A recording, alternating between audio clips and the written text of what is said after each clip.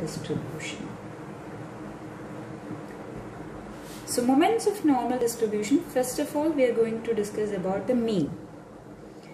Mean is denoted by expectation of x which is equal to integral over the range of x x f of x dx. So here the range of x is or the support of x ranges, ranges from minus infinity to plus infinity. So this is equal to minus infinity to plus infinity x f of x dx.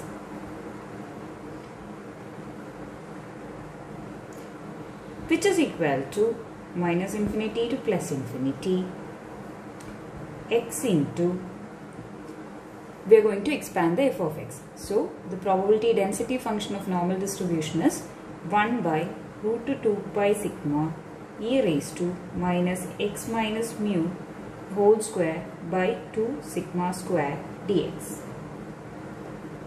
Now for the simplicity, I am going to add and minus mu to this equation. So x minus mu plus mu into 1 by root 2 pi sigma e raised to minus 1 by 2 x minus mu by sigma the whole square dx.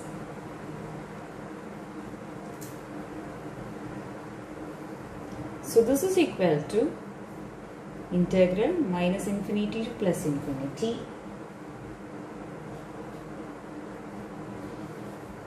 x minus mu into I can write it as f of x itself right f of x dx plus mu into f of x dx where the range is from minus infinity to plus infinity.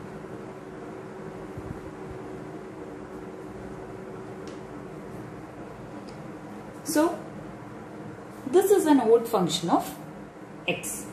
So since this is an odd function of x and it is ranging from integrating minus infinity to plus infinity, this full term will be 0. And now we are going to deal with this plus mu into integral minus infinity to infinity f of x dx.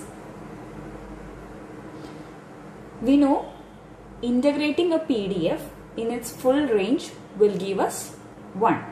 So this is equal to mu. Therefore, the mean of the normal distribution is mu.